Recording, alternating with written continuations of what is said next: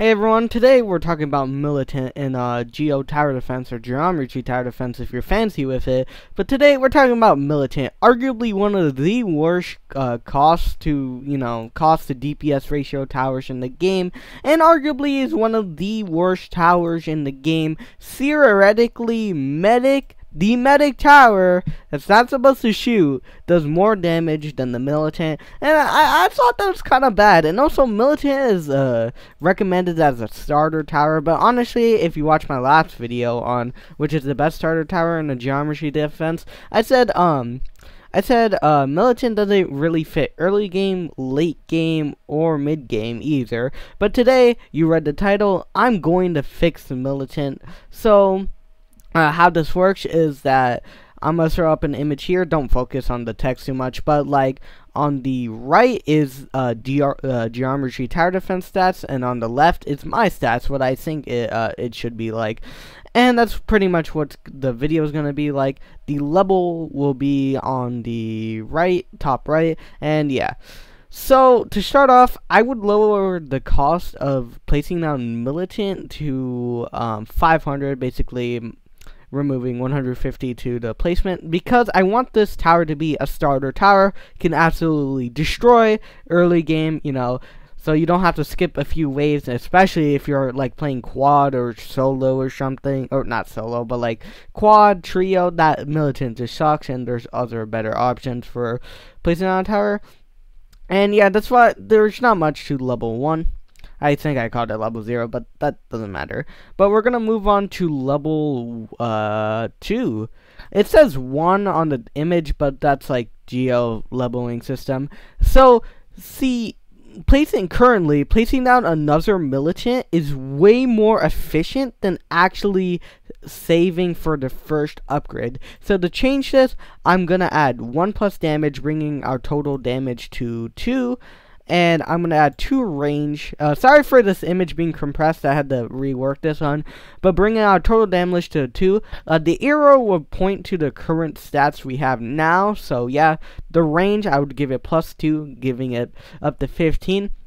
Uh, same cooldown. I would say same cooldown, which is literally the same as Geo Tower Defense, uh, Geometry Tower Defense cooldown.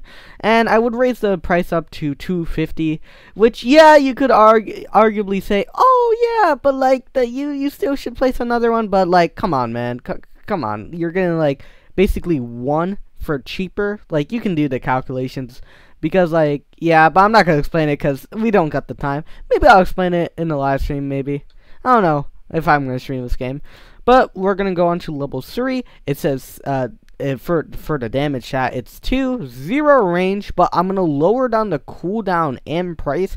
So, negative, um, or minus 0 0.05 to uh, bringing the fire rate to 0.15, raising its overall DPS to a lot, um, a lot better than the actual militant. So, yeah and we got um we're gonna lower down the price to 900 uh, geo coins instead of um 1000 see i don't understand. They nerfed this cost like by 200 and it's still garbage. Just get like three level 0 militant or one militants and it does like a better job than one level 3 so yeah. And arguably for like a better price.